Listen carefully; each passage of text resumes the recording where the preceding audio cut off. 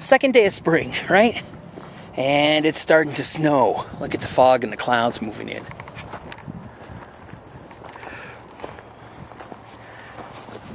The other day I was cleaning my desk and I found something kind of cool. When I was uh, in Upton, I used to send out a newsletter once a month and I'd write poetry. And there was an older lady in Indiana who decided she thought my poetry was good. I don't know why. She put it in a book called Insights.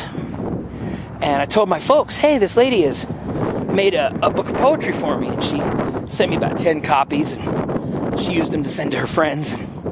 Well, I thought I thought it'd be cool to send a copy to my mom and dad, but I thought I'd play a joke on them. And the book was of Christian poetry.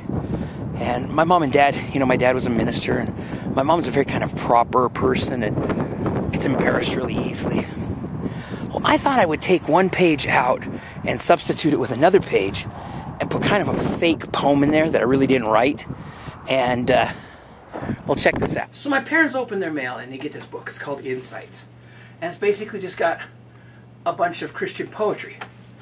But I took one page out and put a fake poem in there just to kind of freak them out. And I thought, well, as soon as they got it, they'd call me. Well, they happened to have gotten it when they were traveling down the road, and Dad had a doctor's appointment, and they, this was before cell phones, so they couldn't contact me until late that evening. And they got the mail in the morning, and my dad said, Pat, read me those, those poems in that book. So mom started reading some of the poems, and she got to the, the fake page I put in. And this is the poem she read Breaking the Wind. I've never been one with a very big heart, but I do love the scent of my own captured fart. In a long car drive on a hot summer day, one little fart goes a long, long way. When I'm breaking wind in bed, under the cover, I romantically pull the sheets over the head of my lover. A phone booth, an elevator, even a tent, I can't get enough of my own smudgy scent. At parties, I slip one past a huge crowd with ease. Then I crumple my face, screaming, Who cut the cheese? It's fun to share gas with neighbors and friends, and as long as there's bean dip, the fun never ends outside the grocery store with a group of old hags. I fart like a horse as I carry their bags. I fart in the post office getting the mail. You wouldn't believe the foul scent from my tail. I fart in the church as I sit in my pew, making saints hold their breath till they turn a dark blue. Now, dare someone tell me I don't have any class? I'll tell them I do, but I've also got gas.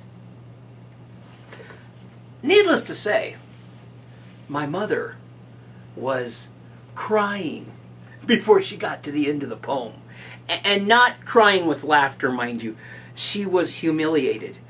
And I got a call that night from my father going, Who did you send this book to? How many people got this book? I can't believe you'd put that poem in there. I can't believe you'd do that, Troy Height.